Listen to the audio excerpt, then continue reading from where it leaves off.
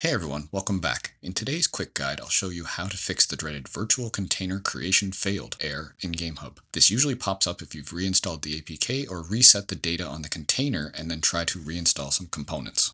First, let's recreate the scenario. You reinstall the APK or you reset the container data and when you go to add a component back in, GameHub throws that error. Don't panic, it's a common issue fix is simple. Head into the container itself. Once you're inside, let GameHub handle the installation of the container firmware and the compatibility layer.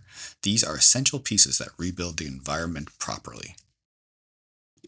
After GameHub installs those components, exit the container and there should be no more errors. You can now install your components and launch your game.